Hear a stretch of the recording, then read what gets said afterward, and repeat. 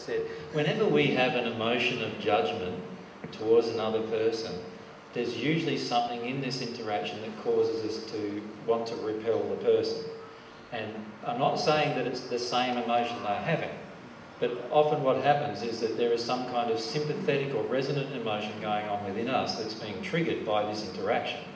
So for many of you, if Jen gets up to here and talks to me, for some of you, you feel like she's stealing the limelight, is the feeling that you have. Well, that's the resonant emotion that gets triggered.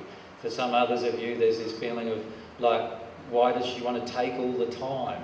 So that's another resonant emotion that you've probably had siblings or someone else like that in your life take time away from you or take a person's love away from you is the feeling you've had.